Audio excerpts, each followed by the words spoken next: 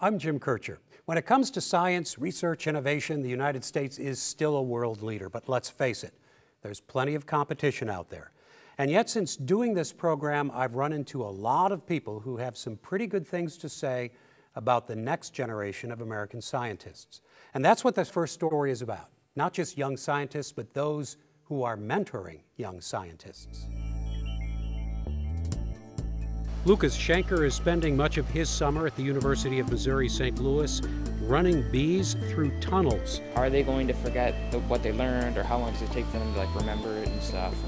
By the way, the name on his t-shirt is that of a 13th century Italian mathematician, which might be an indication of the kind of high school kids who are attracted to this sort of program. The experiments, yeah. Mayor Khanna thought it would be interesting to put in six weeks in a biochem lab helping to do basic research related to Parkinson's disease. To apply the different types of microRNAs that we have, there's like. There are two of 66 high school students participating in this summer's STARS program, students and teachers as research scientists.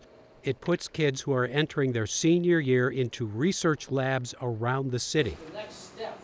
They do attend lectures and seminars, but this is not a summer school class. They're here to do real science under the guidance of real scientists. Mayer's lab work is part of Professor Wendy Olivas' study of proteins related to Parkinson's. Created over time and then we use. This is actually the first year. Program. This is the first year I've been involved in the STARS program. I have had other high school students in the lab, and it's been a really good experience. So I decided to go ahead and do the STARS program. I think it's an excellent opportunity for the high school students to get a feel for real research before they get to college, and once they get to college, they have a, a real leg up in all the other students in getting into the lab. No, I really like molecular biology, and I was really glad to be. Uh, paired up with this lab, and I'm really enjoying my experience. So that's the students get to choose what they want to do chemistry, medicine, genomics, microbiology, or joining the research that's being done at UMSL on bees. Oh, you know, I mean, I, I was pretty much up for anything, and bees, it sounds exciting, so I, I thought that would be cool to work with them. He's contributing to Professor Aimee Dunlap's ongoing research on bee behavior. So, how are they combining information that they're born with with information that they're gaining through their own experience and information they can get from other bees. Bee learning? It is bee learning. They do learn. I'm just going to be looking at like how fast they can figure that and out. It's and it's great it's having excited high school students in the lab. I think sometimes they learn that science is maybe, and it's great having excited high school students in the lab. I think sometimes they learn that science is maybe not quite what they thought it was going to be.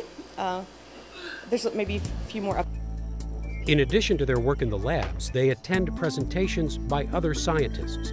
And on this day, UMSL Chancellor Tom George was talking to them, not as chancellor, though, but as the research scientist he still is.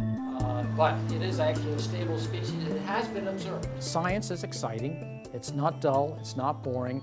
Uh, and there's opportunities in sciences. And so we're hoping we'll get more students to go into the STEM disciplines, go on to college, and major in, in one of the scientific or engineering or mathematical disciplines. Replace all the carbons by uh, borons and uh, nitrogen. Most of the students come from local high schools, but the STARS program does attract kids from outside the area, even outside the country.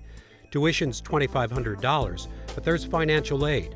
The universities and the corporate sponsors don't want to turn away anyone who really wants to do this. Students who go through STARS are kind of those who will ultimately replace us. Heidi Hope is a cell biologist with Confluence Life Sciences and a STARS advisor. I love what I do. I absolutely love what I do. And I want the kids to see that this is really cool. Um, and if they decide they don't like it, that's an important thing to decide too.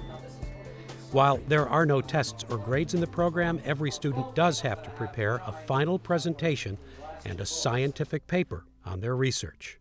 Uh, which is something none of these kids have ever written before. And so it's a little bit of an eye opener to them. Um, so you have to take them through it step by step. Um, but it's really nice because then they can actually put it in their applications for college. And then when they actually go into a lab um, in college, they know how to do science. This was the 28th year for the STARS program. 2,000 kids have gone through this. Many of them have gone on to careers in science and engineering. The final ceremony at the end of the six weeks looks like a graduation, and with speeches about the future, sounds like a graduation.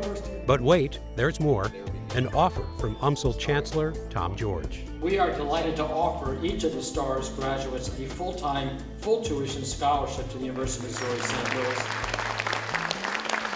They will leave the six weeks of science with a STARS lab coat and with ideas about their future well beyond their final year in high school. And good luck to all of you. Um, it's been an incredible opportunity. Um, coming in, I wasn't quite sure how I felt about researching as a career, um, but after going through this, it seems like a definite option for me. Um, the support of the mentors that have been involved and the people in the lab has been completely invaluable, and I've learned so much over the course of the summer.